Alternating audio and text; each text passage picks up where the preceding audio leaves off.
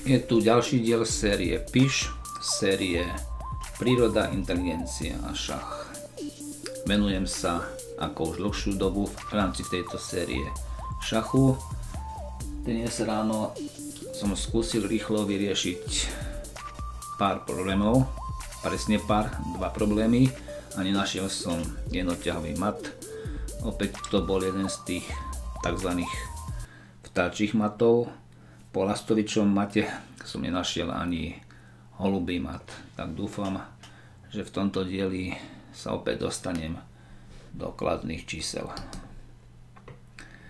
Som biely, mám väžu a tri ľahké figúry, super má väžu a tri ľahké figúry. Nevisí mi žiadna figúra, superovi tiež nevisí. Na prvý pohľad ma zaujala jeho dáma. Má príliš malý priestor na pohyb, len ako to využiť, ak to bude téma tejto úlohy a navyše mám šach. Môžem dať do cesty jazdca. Čím by som ešte viac tú dámu obmedzil, napadol by som aj väžu.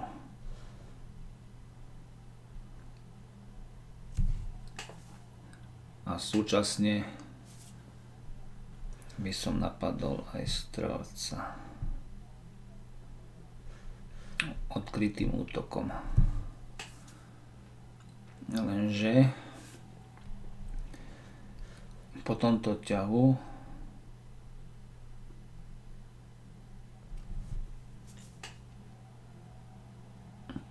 Môže zahrať čierny ťah stelec na D2 s útokom na väžu.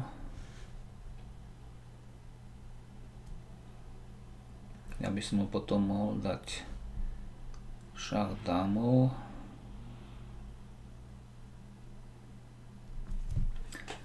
No, bude to zaujímavé. Je tu na výber viacej ťahov.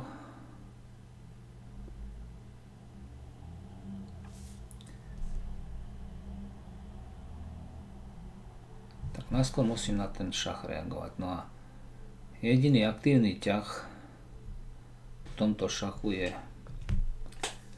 ten ťah jazdcom. Jazdec na B5. Môžem samozrejme ustúpiť, predstaviť dámu, predstaviť jazdca.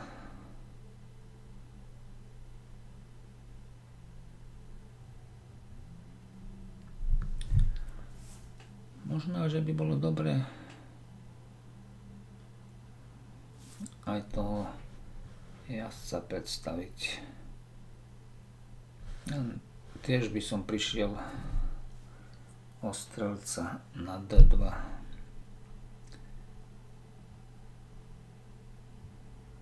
Tak skúsim najskôr preskúmať ten prvý ťah, čo ma napadol. Čo mi napadol? Jazdec na B5.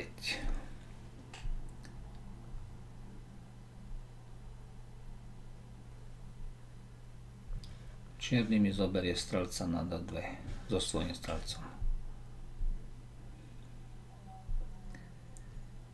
Ja mu môžem zobrať väžu,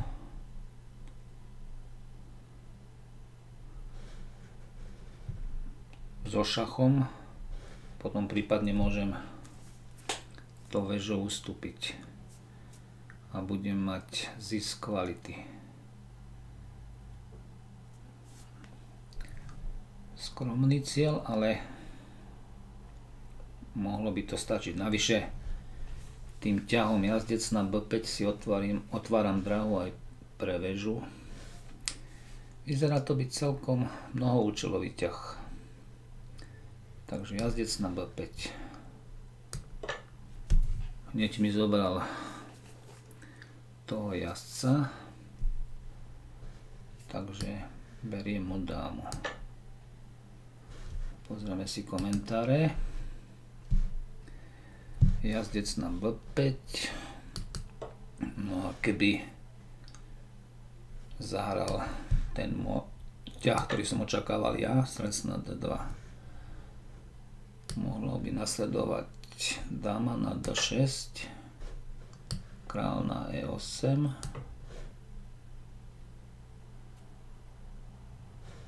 strelec na D5. To je zaujímavý ťah.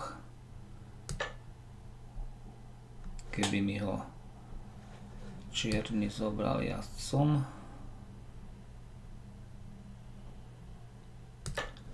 tak by som odlakal jazdca od toho pola C8 a dostal by takto mat.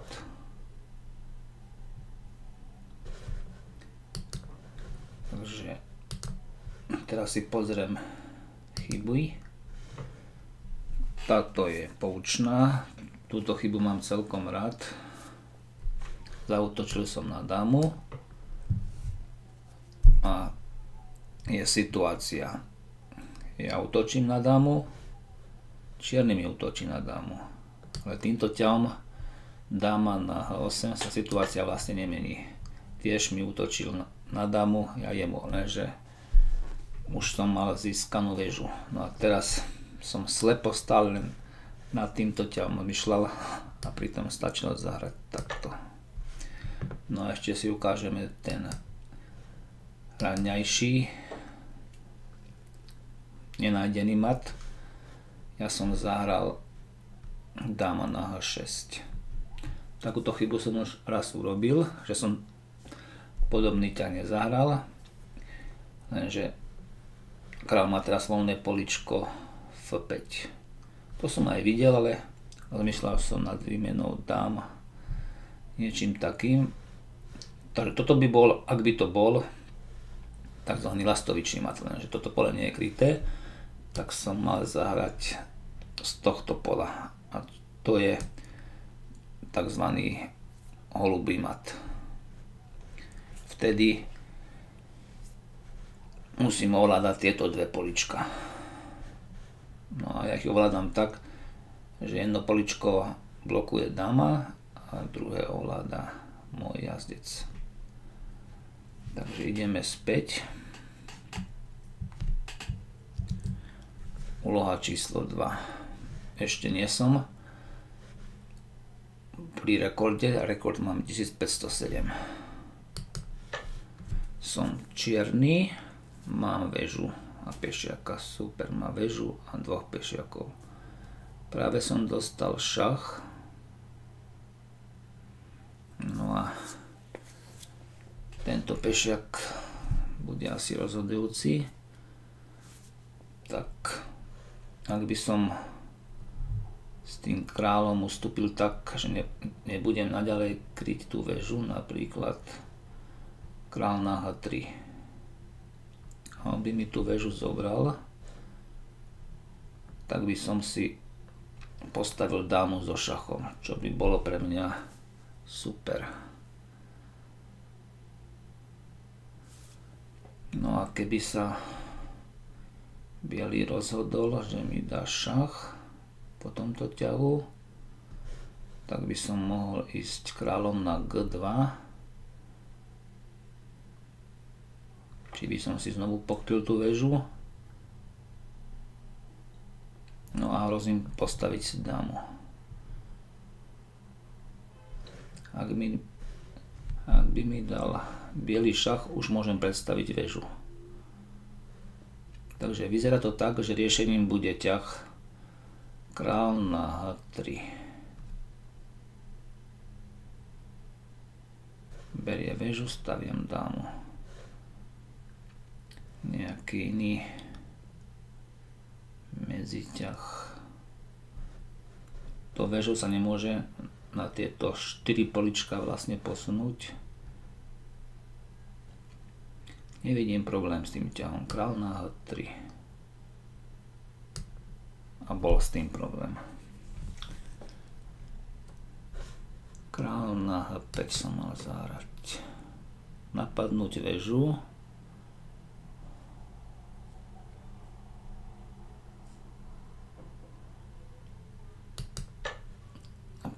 Postaviť si dámu. Prečo bol chybný ten ťah král na 3?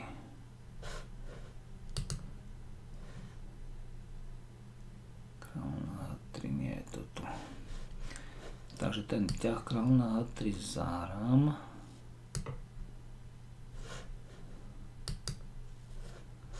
Dám si jednu variantu.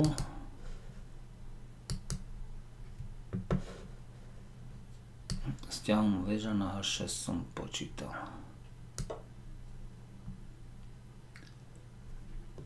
Ja som chcel ísť král na G2.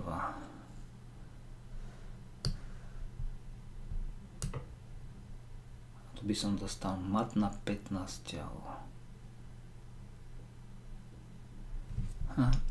Nepočítal som s touto obeťou. Prišiel som o mojho posledného pešiaka, pretože keby som zobral väžu, tak prídem o svoju väžu. No pekné.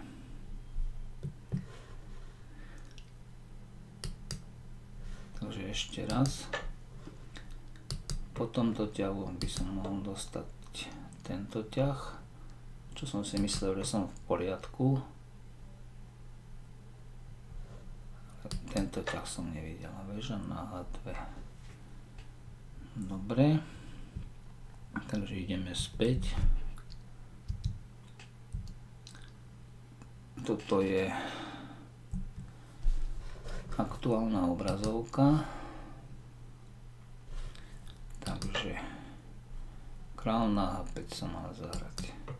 Aby nebol možný ten ťah väža na H6.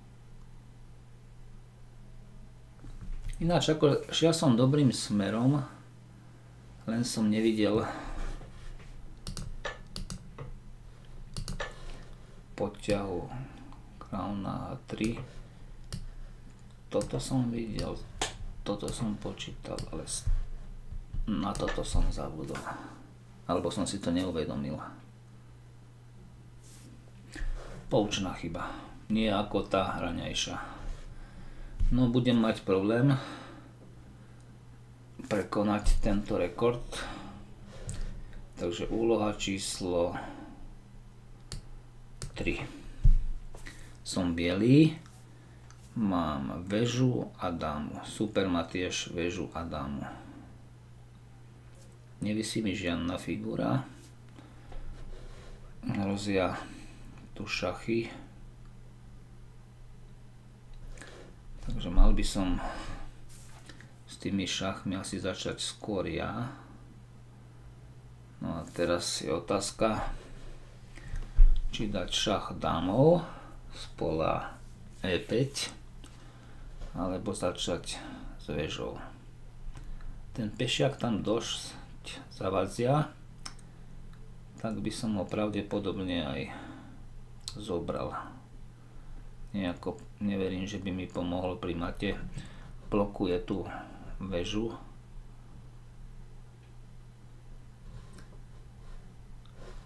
Týmto ťahom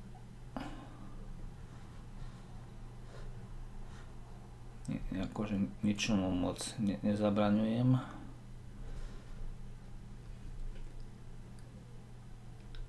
Takže väža na G7 alebo nejaký ťahotán. Vieš, na G7 myslím, že bude ten správny ťah. Nemám to prepočítané ďalej, ale jednoducho ten pešiak tu, tu zavadzia. Dobre. A teraz už treba rozmýšľať, čo ďalej. Môžem dať šach z pola G5 alebo D5. Z pola D5 by to bolo zaujímavejšie, pretože mu vlastne hrozí matom. Potom môžem ísť na A8. A je to tak zahrám. Král dáma na D5. Ústup niekde na 8. rade a potom mat. Takže šach. Mal by to byť mat. Ešte minus 0,3. Takže úloha číslo 4. Som bielý. Mám dve veže jazdca, super, má dve veže jazdca. Takže sme vyrovnaní. Nevisí mi žiadna figura. Superovi tiež nie.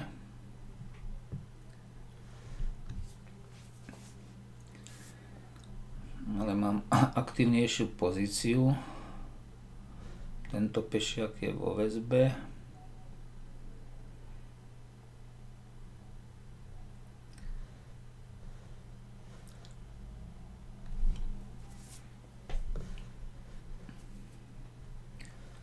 Keby som zahral jazdec na D5, by to bola pekná vidlička, len vadí tu tento jazdec.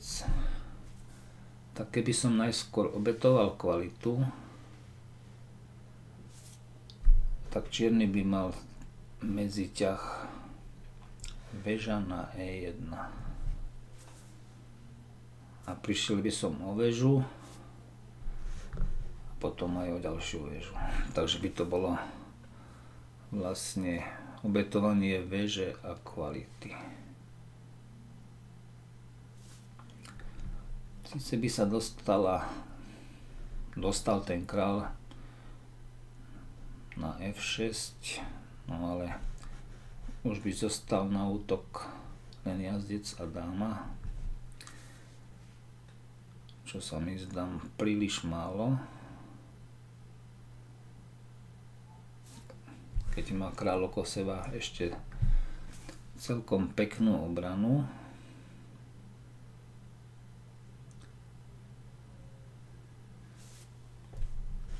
Ale ja mu vlastne útočím na túto väžu dvomi figurami.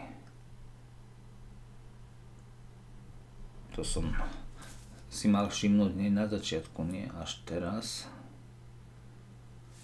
Takže čo by sa stalo, keby som mu jednoducho to väžu vzala.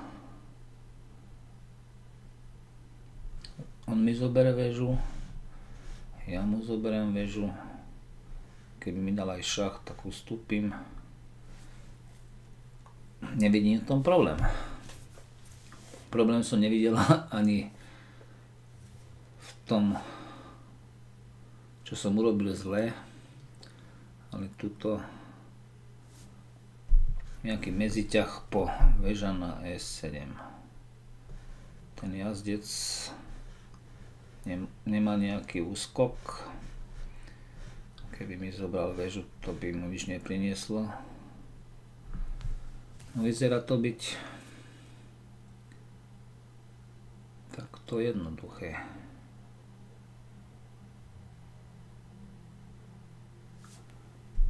No, tu hrozí šach z pola do 4 dámov.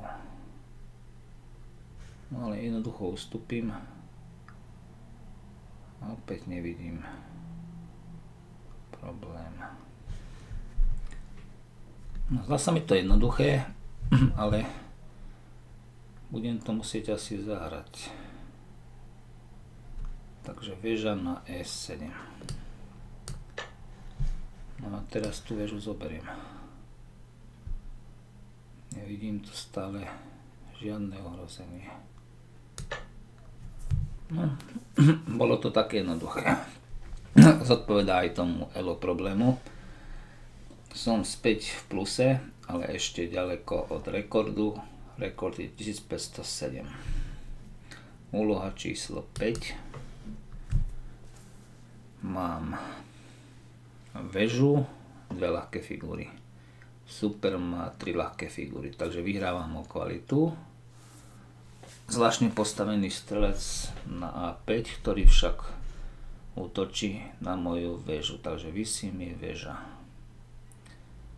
Super. Takéto problémy nemá. Ale tá dáma v centre nie je krytá. Takže keby som nejako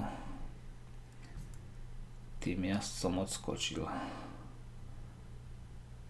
Takže keď odskočím jazdcom, tak ja nebudem mať tú dámu krytú. Muselo by to byť so šachom. No, môžem nalakať kráľa na pole na E8, takže obetujem väžu, obetujem kvalitu. Väža na E8. Čierny ma musí vziať, takže musí tu obeť prijať. Lenže teraz keď dám šach jazdec na D6 čiernym jednoducho to jazdca zobere aj z pola F6 mi ho zoberie.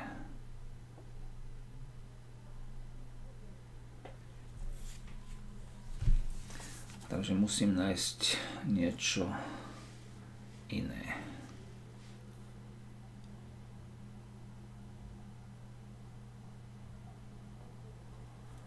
A čo?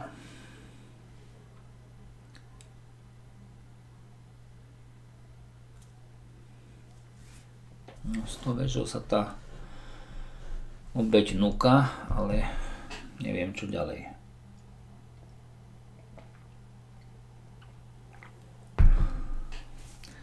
Malé občerstvenie, takže čo?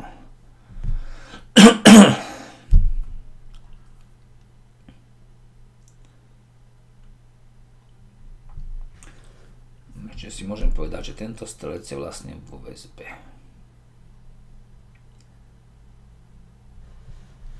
Takže čo keby som neobetoval tú väžu,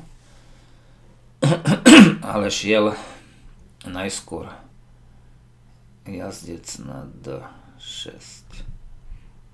To vyzerá byť zaujímavý ťah, pretože tým, jaz, tým ťahom jazdec na D6 napadám odkrytie dámu a súčasne hrozím matom väža na E8. No tak to by mohlo byť zaujímavé, ale ako sa vlastne čierny môže brániť. Ak mi zoberie dámu, dostane mat. Ak mi zoberie to dámou jazdca, tak ja mu zoberiem dámu a mám za jazdca dámu. Ak mi zoberie so strelcom väžu, tak beriem dámu. Malo by to tak byť. No ešte je otázka, že či zahrať jazdec na F6 alebo jazdec na D6. To mi pravdepodobne nebolo jedno, lebo tu nie je ten jazdec skrytý. Asi musím toho jazdca pokryť, samozrejme. Takže jazdec na D6. Zahrám ten ťah. No a získavam teda dámu. Mohol by som ešte aj viac, zjať strelca, ale nie okamžite, až neskôr. Takže 1505. No a posledným problémom by som sa mohol dostať na 1507. Takže som biely, mám dve veže jazdca. Super má dve veže a dvoch jazdcov. Je 19 hodín. Prehrávam o ľahkú figuru. Ten král nemá príliš veľa polí, kde by mohol ísť. Vyzerá to dokonca, že ani jedno nemá, ale môže mi vziať tohto pešiaka. Nejaký lastovičí mat. no keby bol tento pešiac, pešiak pokrytý, tak by som kľudne mohol ísť vežou na H5 a bol by to vlastne ako keby lastovičí mat, ale na to treba, myslím, že dámu. A ja mám len väžu. Takže ako mu dať šach, aby to bol súčasne aj mat. Veža na G7. Nemôže predstaviť nič. Sem nemôže ísť, sem nemôže, na tento stĺpec nemôže. On si pokryl aj tohto pešiaka, tu bráni jazdec.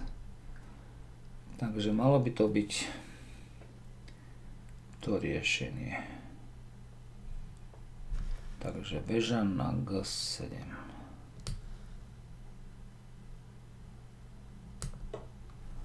Tak, 1507,5. Tu bolo koľko? 1507,38. Takže som spokojný. Môžem ukončiť túto lekciu. Táto chyba bola poučná a zostala jedna škôlkarská.